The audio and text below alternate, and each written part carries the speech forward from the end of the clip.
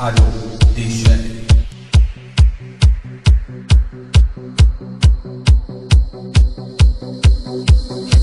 Los mismos trucos.